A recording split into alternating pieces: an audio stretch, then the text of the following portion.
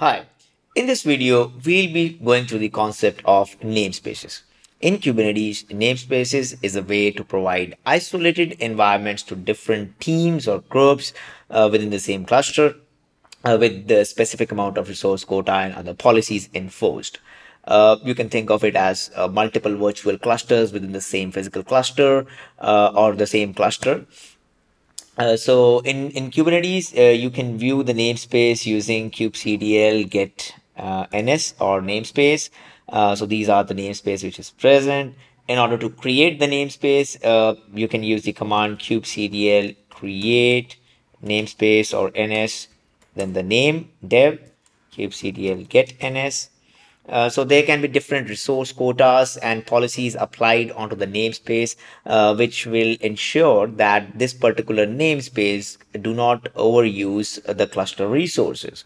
Uh, so uh, you can have multiple teams uh, like dev team or testing team or the other teams where you can provide different quotas and then that particular teams can do their particular work in specific namespace with specific resource quotas and policies defined. Uh, you can also spin up objects uh, of the same name in different namespace. Uh, so this can help you to run different versions of the same application in different namespaces. Uh, for example, kubectl run nginx hyphen hyphen image nginx. So now this particular command will create a pod nginx in the default namespace uh, because we haven't provided any namespace. So kubectl get pods uh, so we can see nginx pod is running. Uh, now, if we try to run it again, it will say that it's already exist. But if we try to run it in uh, hyphen n dev namespace, it will create a pod in dev namespace uh, hyphen n dev. So in order to view uh, the resources from a particular namespace, we just specify uh, the namespace in the end.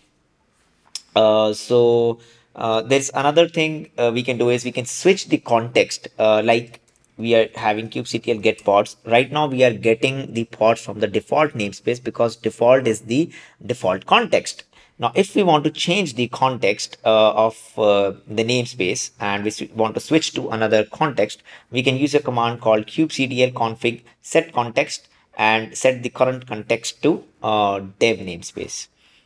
For example, uh, then and if you want to see uh, how whether it's switched or not it's kube config config uh, view kubectl config view uh, hyphen hyphen minify then grab the namespace it's dev now if i do kubectl get pods we'll only see the pods from the dev namespace. So we have switched our default context from default uh, namespace to dev namespace. Uh, so that's that's it about namespaces. You can also delete a namespace using delete and uh, the namespace of dev will be deleted internally it will delete all the resources as well. So that's it about namespaces. Uh, thank you for watching. See you in the next lecture